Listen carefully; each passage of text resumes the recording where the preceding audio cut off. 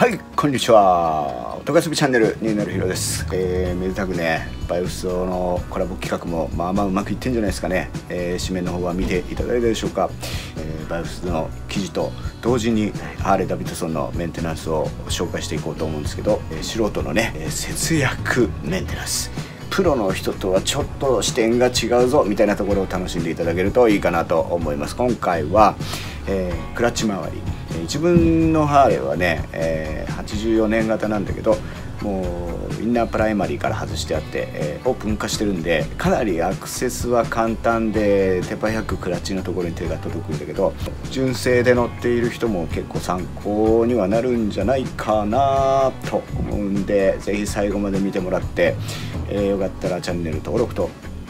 グッドボタンよろしくお願いします。では、えー、クラッチ周り行ってみましょう。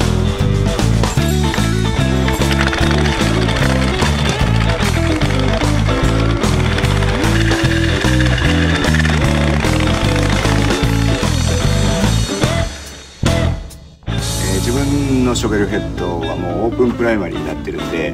あれなんですよ。もうアクセスが超簡単、まあ、見てくださいこの、えー、ロナスエジのねアウターがちょっとかっこいいでしょ。えー、ベルトドライブになっていて問題点は小石を噛んでねベルトの山が外れやすくなる。ベルトが切れるじゃなくて山が飛んじゃうんですよね。で空回りして動かなくなっちゃったとかもあったんだけどアクセスするのが簡単。とかね軽量化、えー、オイルが濁らないっていうのがね利点かな。何しろクラッチが純正だと、まあ、オイルが回ってきて滑ったりあんまり乗らないとオイルのカスがねこのプレートとクラッチ板の間に挟まってきてべったりくっついちゃってクラッチ切れなくなるっていうこともあるんでね。オープンプライマリーだといつも乾燥してるんでそういうことが比較的起きにくいっていうのがねいいんじゃないですかね。でもそれでも時々清掃してあげないといけないっていうのが古いバイクの特徴。愛情を注ぐところですね。このアウターを外すのにちょっとコツがいるっていうかまずこのロックナットをね緩めていきますよ。ロックナットを緩めようと思ったら全部回っちゃってなんで一気に全部外しちゃいます。これこの枝の向こう側にこのプッシュロッドがあってラッチ板をね、えー、くっつけたり離したりするやつなんですけどこの棒が、えー、クラッチリバーをグッと握るとキック側の方からこう押されてでねあ私はか。新品なんですけどこの映像で出てきたこれ。これをこういうふうに押すと。押すとこれがこれにはまっていてこういうことですね。こういう状態ですね。でこれで遊びを調整する。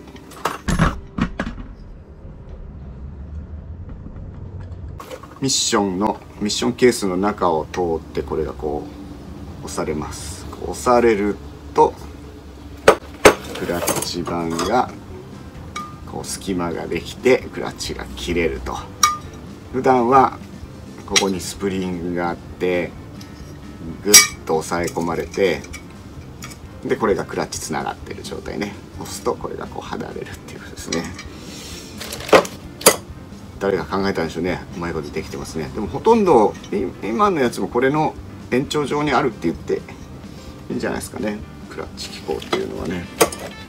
このメインシャフト。メインシャフトの中を貫通していて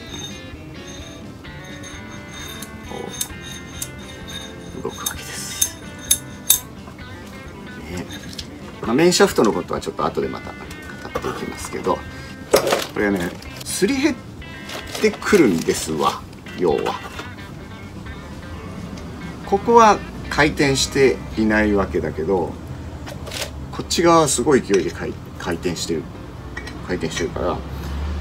こがねどんどんどんどんすり減ってきちゃう。ここが。でなんか対策品みたいので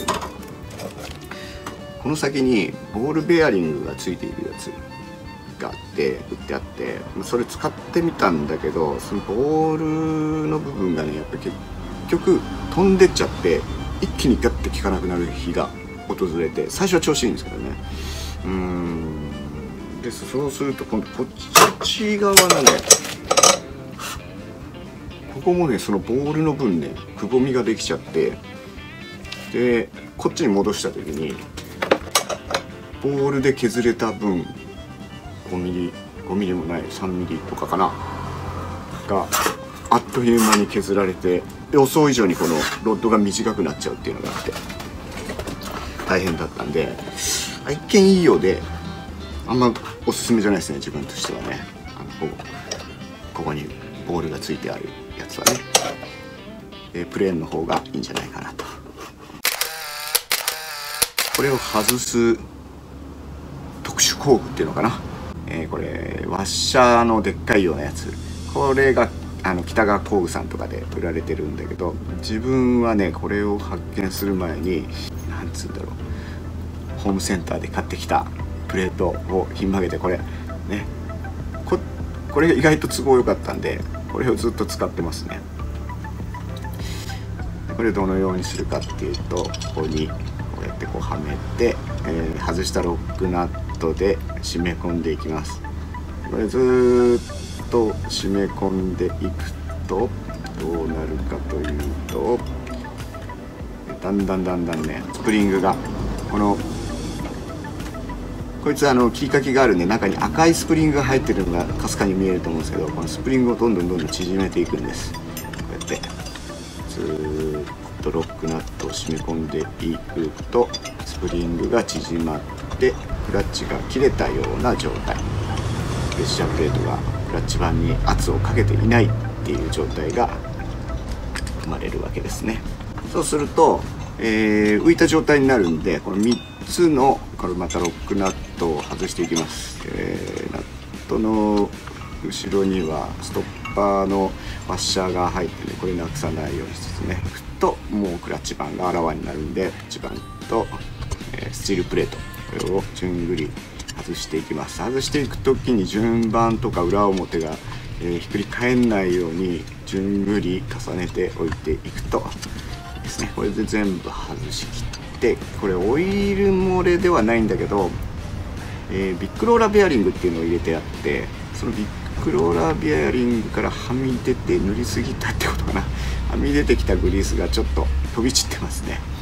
えー、まあでもこれ1枚目のとこだけなんでクラッチが滑るとか切れにくいとかそういうことは起きなかったです。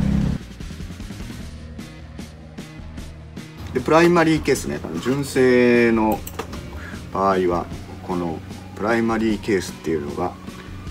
このクラッチ機構エンジンとミッションをつなぐっていう意味も含めて、えー、カバーされてるわけですけどもでっかい弁当箱状態ですね。えーと、これ3つあるのはね一番左側はインナープライマリーインナーケースですね。これが最初にはめてあって手前にクラッチ機構が来ますね。で真ん中にあるのが自分のバイクの純正の84年 Y グラの、アウターカバー。で右側は70年代のおそらく77年の FLH のやつなんだけど FLH 本当あのフットボードを取り付けるためのステーが出てるんですけどそれ削ってあって削った後の跡が見えますね。どっちがかっこいいかな？なんかこうなってみると最初の時はねメッキがかっこいいとか思ったけどアルミ地肌の方がかっこいいような気がするな、えー、真ん中のところにツンって突き出た部分はエンジンから回ってきたオイルがライマリーチェーンを瞬活すると。ここから入ったオイルがここから出ていくんですけどあれこれ真ん中なんだっけな。真ん中の穴のことを忘れてしまいました。単なる部屋抜きかな。えー、ここからオイルが垂れてきてプライマリーチェーンを潤滑していきます。でアウターカバーがショベルの時代はねちょっとカクっていう鋭角な感じが素敵でかっこいいですよね、えー、エボリューション時代になると丸みを帯びてくるんだよな。これだけでも結構な重量なんでねこれ外すとだいぶ軽くなりますよ。でまあこれだと小石やそういうのから防御されるっていうのもあるしミッションとエンジンをまっすぐつなぐことができるっていうのもね大事なんだよな。プライマリーケースを使う場合はエンジン側を先に固定して、え、その後ミッション側を固定しないとプライマリーケース自体にひびが入ったりするんで。はい外したクラッチバンところプレッシャープレートのところはまあそんなに汚れてなかったんでワイヤーブラシでチャチャってやるぐらいで。で、まあ、ひどい汚れだったりひどい歪んでたりする場合はガラスの上にね紙やすりを置いてシコシコこすると平面が出ると。いうことですけど今日はワイヤーブラシだけで清掃しておきます、まあ、クラッチ板をね綺麗にしていきましょうと。本当はもうちょっとこうちゃんと洗浄剤とかにつけてね綺麗にした方がいいんだろうけど、まあ、今日はもう簡易にパーツクリーナーでシャシャってやって終わりにします。中も綺麗にして。でこれから組み付けていくんですけどこのスタッドに薄くクリースを塗りつけてこれがね結構段付きマンモするんですよ。これなんだけどね。これ新品でスタッドだけで売ってるんですけどこれをまっすぐ入れるのっていうのが結構大変らしく未だに。やってません。これだって多分20年ぐらい前に買ったまんま。いつか使うだろうと思って今ね使ってないやつ。えー、一応こうやってこうガラスのところに紙やすり置いてシコシコやると、えー、平面が出ていいですね。荒れてる時はこういうことをやると。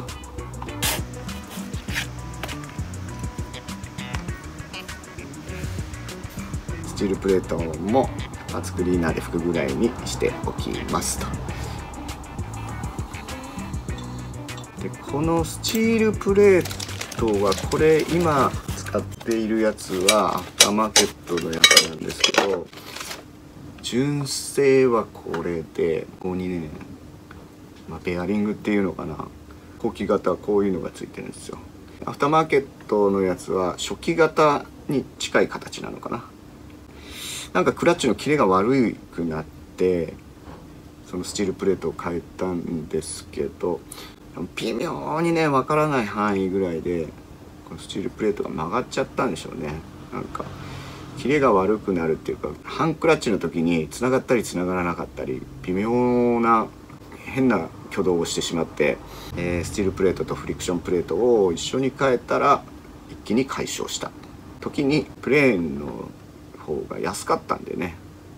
それで純正のやつじゃないやつを使ってみました。特に不具合はないんで15年使って不具合ないんでまあいいんじゃないですかね。でね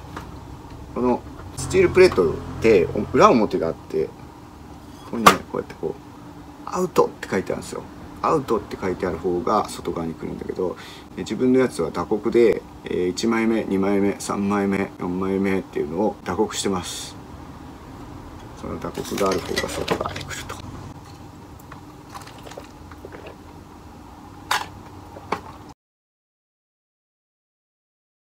綺麗にしてこれではめていきます。そんなに綺麗になってないってね。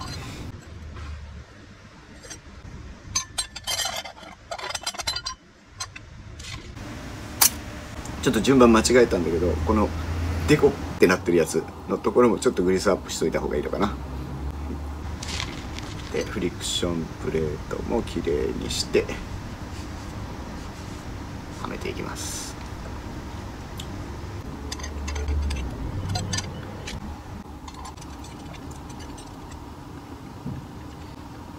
まあクラッチ板がフリクションプレートがあの湿気ってなければいいでしょうみたいな感じですね。これミソなんですけど軍手使う時に人差し指だけちぎっとくとなんか便利です。4枚目のフリクションプレートです。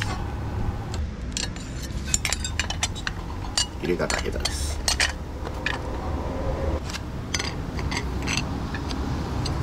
はい5枚目。あと2年ぐらいはクラッチ板